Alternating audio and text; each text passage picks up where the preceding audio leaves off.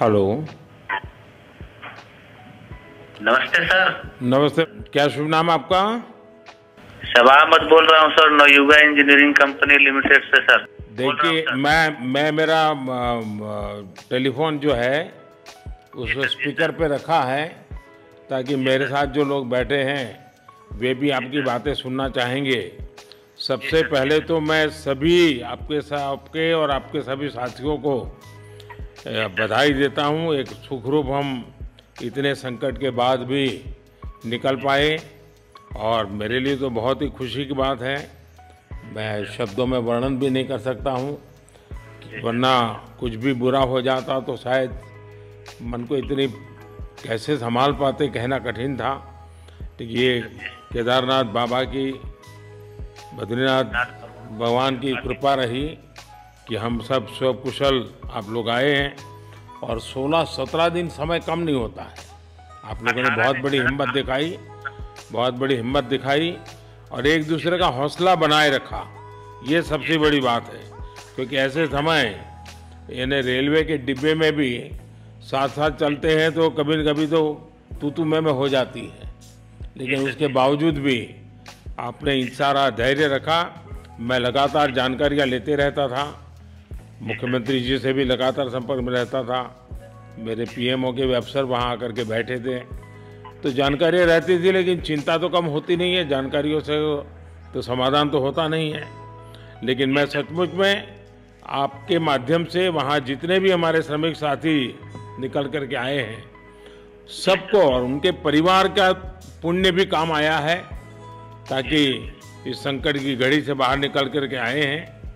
आप कुछ करना चाहेंगे? जी सर मैं कुछ कहना चाहूँगा सर। हाँ बताइए। मैं कह रहा हूँ कि सर हम लोग आज का दिन लेके सर 18 दिन तक टनल में हम लोग सब फंसा था सर। लेकिन हम लोग को एक दिन भी कुछ ऐसा एहसास नहीं हुआ कि हम लोगों को कुछ ऐसी कमज़ोरी हो रही है या कुछ ऐसा घबराहट हो रहा है। ऐसा कुछ नहीं हुआ क्योंकि सर हम लोग 41 मेंबर्स थे सर। और सब अदर अदर स्टेट थे सर, लेकिन ऐसी कोई बात नहीं, हम लोग सब भाई के जैसा रहते थे सर।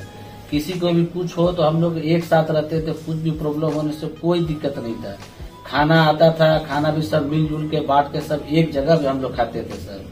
और रात में खाना खाने के बाद में जितने भी हमारे आदमी थे, सबको मैं बोलता था कि चलो एक बार टहलते हैं मतलब टनल का जो हमारा लेंथ है सर, ढाई मीटर हो गया सर, ठीक है?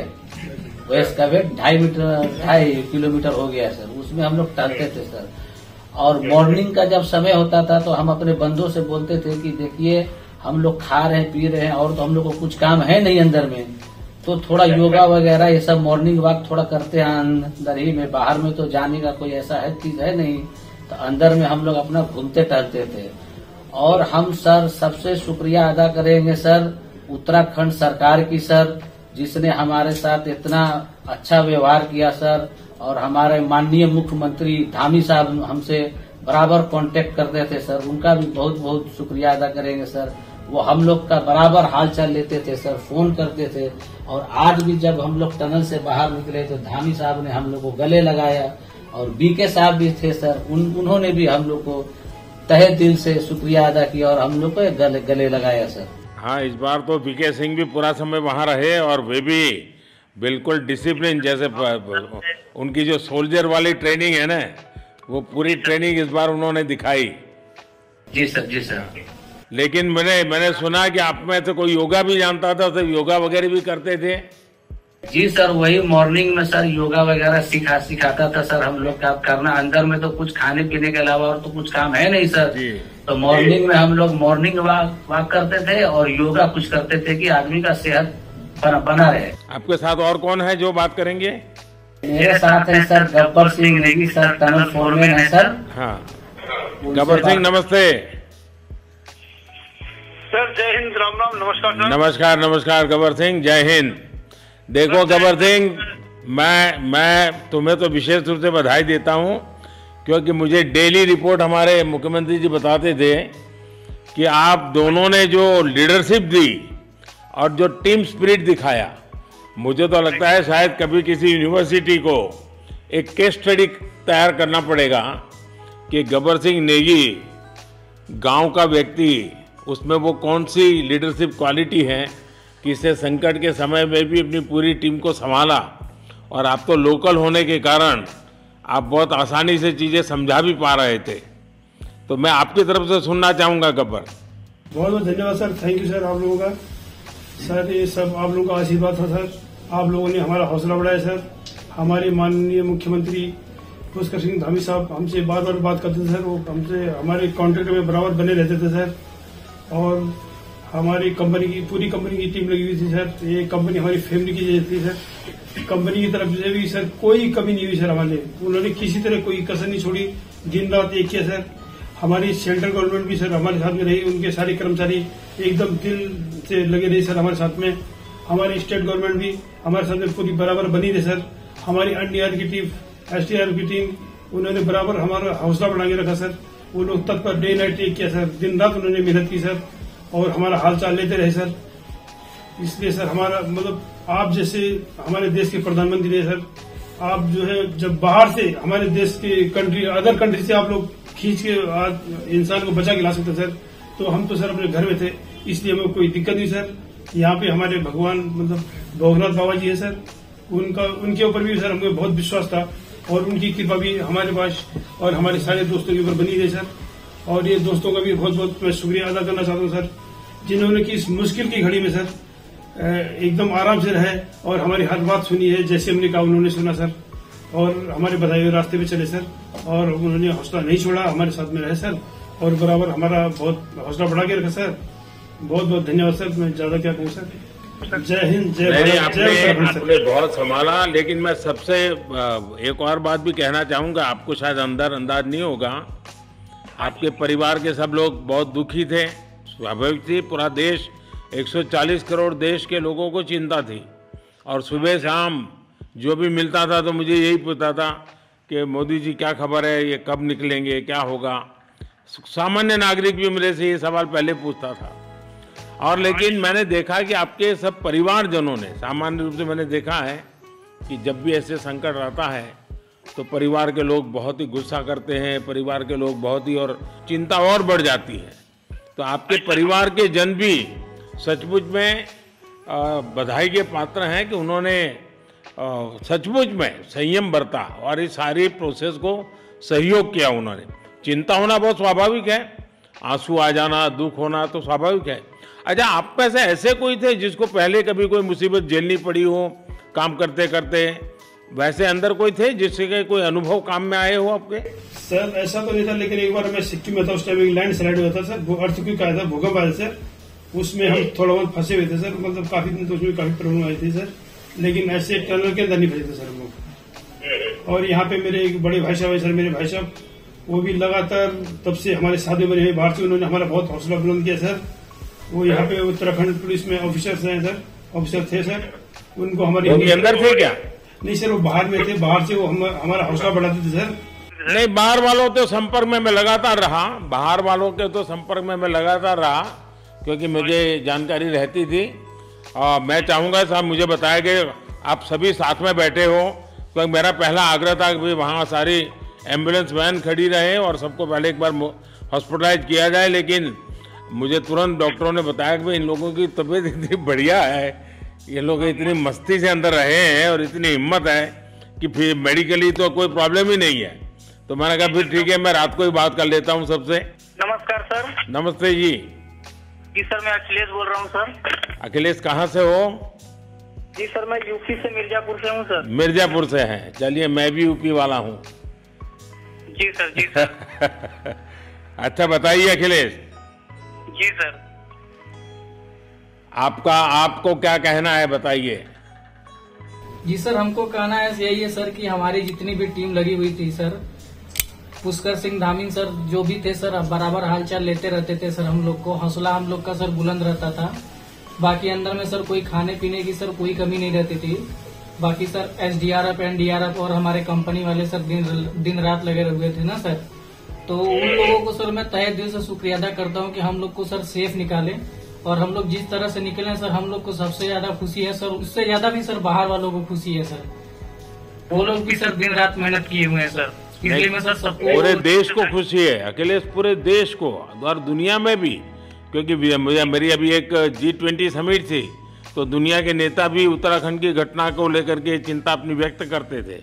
तो सारी दुनिया को चिंता होती है किसी भी ऐसे घटने में तो सारा सारा हिंदुस्तान आपके साथ था और आप लोगों ने लेकिन अंदर आपको दिन रात का तो पता चलता नहीं होगा जब तक वो छेद नहीं हुआ। हाँ सर हम लोग का मोबाइल वगैरह तो पर सर हम बचा कर रखते थे टाइम देखने के लिए ऑन करते थे। बाकी सर उसके बाद कंपनी वालों ने सर हम लोग को सर मोबाइल वगैरह चार्जर वगैरह हम लोग का प्रोवाइड करवा दिए तो सर अच्छा सर फील होने लगा फिर। टाइम वगैरह का पता चलता था फिर हम लोग सर थोड़ा मनोरंजन भी करने लगते फिर थोड़ा मन हम लोग का हल्का होता था सर। बाकी घबराहट वगैरह किसी को हुआ नहीं सर किसी को प्रॉब्लम नहीं हुआ सर। फोर्टी एक मेंबर जो है ना सर टोटल सेफ़ है सर। नहीं मुझे जब वो पहली बार छेद कर करके चीज़ें भेजना शुरू किया तो मुझे लगा कि अब हम संभाल पाएँगे क्योंकि तब तक मुझे चिंता थी क्योंकि इसमें सबसे बड़ा जब सूर्य का प्रकाश नहीं मिलता है तो स्थिति बिगड़ना शुरू हो जाती है। वही वही सर है ना सर? बाकी सर सभी टीमों ने सर बहुत अच्छा कार्य किया सर जितने भी गवर्नमेंट से लेके सर आप आपका उत्तराखंड सरकार से सर सिंह अखिलेश निकलने के बाद परिवार से बात हुई क्या? जी सर फैमिली वालों से बात हुई थी सर। हाँ क्या कह रहे हैं? फैमिली वाले बोल रहे थे सर अच्छा है जो भी है जो भी हुआ अच्छा हुआ। आप में से कोई साथी था उसका भाई तो कह रहा था दो तीन दिन पहले कि बस मैं तो ये निकलते उसको घर ले जाऊँगा अब मुझे यहाँ काम करने नहीं दे रहा है। जी सर वो तो है सर मतलब अब भाई भी है सर वहाँ पे। हाँ। जी सर। जी सर नमस्कार सर मैं सोनू कुमार साहब बोल रहा हूँ सर। हाँ सोनू कुमार जी बताइए कहाँ से हैं आप? मैं सर बिहार से हूँ सर। कहाँ से? बिहार से बिहार में छपरा जिला से हूँ सर। छपरा से हैं अच्छा। ये बताइए। बहुत बहुत धन्यवाद सर यहाँ के जितने भी लोग हैं जितने भी यहाँ पे जितने भी कार्यकर्ता हमारे कंपनी से लेके जितने एनडीआरएफ एसडीआरएफ जो भी है सर हमें हर हर वक्त हर समय सहायता प्रदान की गई। ऐसे है कि सर जब हम लोगों का मन उबने लगा हम लोग को लगा कि ऐसा कि हम लोग यहाँ पे बहुत बोर फीलिंग कर रहे हैं तो हमारे घर से भी इन्होंने ऐसी सुविधा की कि हम उनसे बात कर सके जिससे हमारा मन हल्का रहता था सर। नहीं लेकिन फिर भी भाई ये, ये बहुत चिंता का समय था। आप लोगों ने अच्छा अपने आप को संभाला और क्योंकि ये बहुत पता नहीं कुछ बुरा हो जाता तो पता नहीं हम तो क्या कर सकते थे। यानी अंदर इतनी चिंता होती थी सबको, पूरे देश में चिंता होती थी। लेकिन आप लोगों ने जो हिम्मत बनाई है, वो आने वाले दिनों में भी देश के कई नागरिकों को ये प्रेरणा देगी कि संकट के समय हमने ऐसा क्या करना चाहिए, ये जरा अंदाज तो आएगा सबको। जी सर, हम लोग एक साथ एक परिवार की तरह रहते थे। बाकी हमारे जितने भी सीनियर मेंबर्स थे, कुछ मनोरंजन के लिए कुछ हम लोग के हौसला अफजाई किए बाकी सब लोग, हम लोग एक परिवार की तरह सर रहे, एकजुट रहे, एक साथ खाना खाए, एक साथ, हर सुख दुख में सर हम लोग हम लोग मतलब साथ रहे सर। जब हमारे एनडीआरएफ के जवान जब अंदर घुसे तो हमारी जान में जान आई। हमने ईश्वर का धन्यवाद किया। बाकी जितने भी लोग वहाँ पे हैं, अब खासकर हमारे पुष्कर सिंह धामी, जो हमारे इस उत्तराखंड सरकार के मुख्यमंत्री हैं सर, उनका तहे दिल से हम सब धन्यवाद करते हैं कि इस मुश्किल की घड़ी में सारे उत्तराखंड के लोग, सारे देश हमारे साथ खड़ा था सर। देखिए, आपके परिवार की तपस्या भी काम में आई है, परमात्मा के आशीर्वाद भी काम में आए हैं, और 140 करोड़ देशवासियों की दुआ भी काम में आई है, और कुल मिलाकर के सब इस संकट से निकल करके बाहर आए हैं तो मेरी आप सबको बहुत शुभकामनाएँ। मैंने मुख्यमंत्री जी को कहा है कि आगे अगर आप घर ना जाना चाहते हैं, कोई व्यवस्था करनी है तो क्योंकि मैं मेडिकल चेकअप पहले चाहता था कि कोई तकलीफ़ ना हो, लेकिन अब मुझे डॉक्टरों ने बताया कि साहब, और सभी इक्यालीस के इक्यालीस लोग, तबीयत उनकी अच्छी है, कोई प्रॉब्लम नहीं है। तो आगे जैसा ही आपकी टीम चाहेगी, वैसी सारी व्यवस्थाएँ हमारे मुख्यमंत्री जी चिंता कर रहे हैं। तो मेरी आप सबको बहुत शुभकामनाएँ हैं, और आपके परिवार को भी मेरी तरफ़ से बहुत बहुत बधाई देना, और आप लोग स्वस्थ रहें, और इसी प्रकार एक टीम बना करके हिम्मत के साथ आगे हम बढ़ते रहें। और आप भी देश के लिए एक प्रेरणा बनते रहें। यही एक मेरी हमेशा प्रार्थना रहेगी। और कभी मिलने का मौका मिलेगा तो ज़रूर याद करूँगा। लेकिन मैं तो आज वैसे मुझे आज इतना आप लोग इतने दिनों के बाद आए, इतना समय आपका लेना नहीं चाहिए था। लेकिन मैं अपने उमंग को रोक नहीं पाया इसलिए मैं सोचा भले थोड़ी रात देर हो गई है, लेकिन मैं आपसे बात करूँ। क्योंकि मैं मेडिकल चेकअप के पहले बात करना नहीं चाहता था। और मैं कल तक इंतज़ार नहीं कर सकता था। तो मैंने सोचा चलो रात को ही बात कर लूँ आपसे। जी सर जी सर। जय हिंद सर। जय हिंद भैया सबको बहुत बहुत शुभकामनाएँ। बहुत बहुत शुक्रिया सर। जय हिंद सर। बहुत बहुत धन्यवाद बहुत धन्यवाद भैया। जय भारत। भारत माता की जय सर। भारत माता की भारत माता की जय। भारत माता की जय। भारत माता की जय। भारत माता की जय। बस आपके जो नारे हैं ना देश सुन करके आज बहुत ही प्रभावित हो जाएगा। बहुत बहुत शुभकामनाएँ। Thank you